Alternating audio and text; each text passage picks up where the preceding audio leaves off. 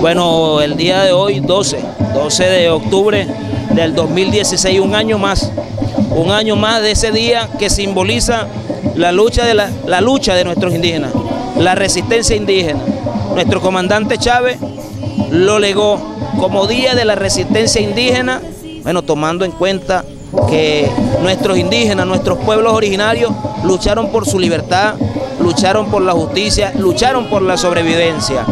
Muchos historiadores hablaban de este día como día del descubrimiento, pero que tú no puedes descubrir lo que ya existe.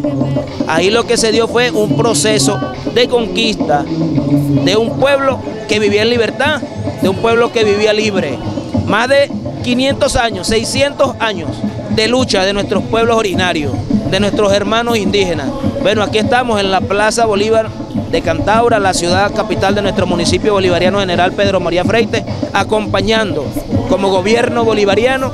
como un solo gobierno del presidente Nicolás Maduro, del camarada gobernador Nelson Moreno, del camarada alcalde Daniel Aro y por supuesto en la Cámara Municipal acompañando a los planteles educativos, a los educadores, las educadoras, el personal administrativo, obrero,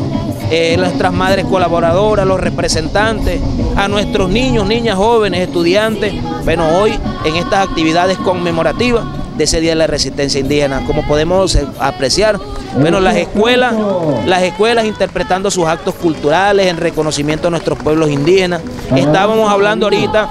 eh, disertando sobre lo que debe ser la recuperación de la memoria histórica este, consolidar la memoria histórica y que por supuesto que nuestros pueblos originarios, nuestros hermanos indígenas y en los planteles educativos se discuta de acuerdo al currículo nacional bolivariano